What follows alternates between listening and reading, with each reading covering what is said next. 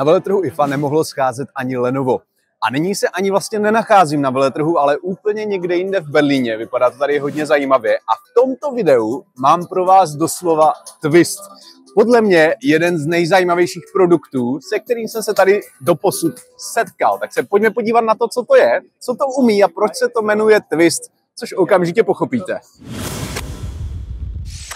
Tak a tady už máte Twist v celé své kráse. Jak vidíte, je to zařízení, které je řešením pro takové ty situace, kdy chcete něco, mu něko, něco někomu ukázat, třeba na poradě, a musíte kvůli tomu natáčet notebook. Tady v tomto případě si vás Twist uh, přímo zaregistruje. Můžete se sami podívat, že vidí, kde se já nacházím, kde je můj obličej, který trackuje.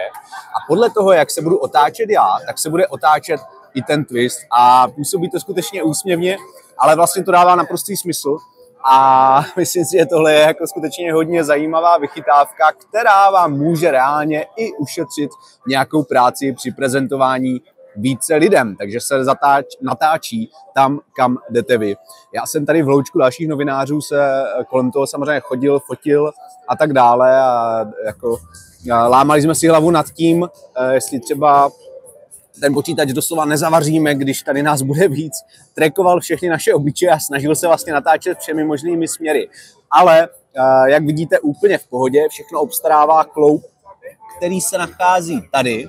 A vlastně možná jste si toho všimli, že když se to zařízení otočí, tak eh, ten displej se někdy jakoby trošku zatřepe. Eh, pokud se vám tady tento twist, auto twist líbí, tak vězte, že prozatím vůbec eh, to není vlastně něco, co by se komerčně mělo podívat na pulty obchodů. Cena tedy zatím vlastně je nepodstatná, nebylo to oznámeno.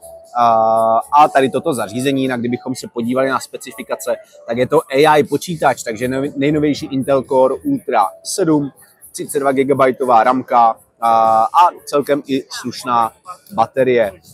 Konkrétně tady máme 55 Wh, což je na takovéto zařízení kde máme takto oddělený displej, asi dá se říct celkem solidní. Myslím si každopádně, že Lenovo tady tímto konceptem ukázalo jako další zajímavý směr, kam bychom se mohli posouvat.